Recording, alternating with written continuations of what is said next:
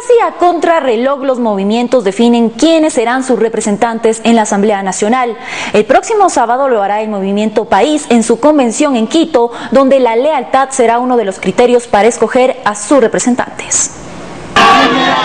A 10 días de que venza el plazo para inscribir a los candidatos para las próximas elecciones, el Movimiento de Alianza País prepara la Convención Nacional, donde sus afiliados elegirán y votarán por sus aspirantes a asambleístas. El evento será el 10 de noviembre, anunció el presidente Rafael Correa.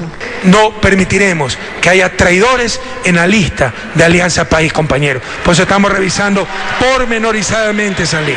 Se refiere entre ellos a César Rodríguez, uno de los ex militantes de País, quien era cercano al presidente.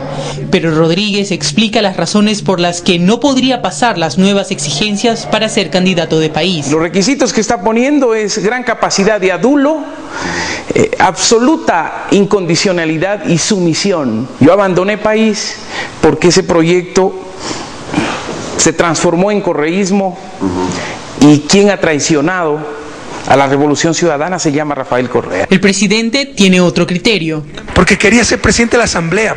Entonces le dimos un ubicatex, ubícate compañero un poquito, ¿no?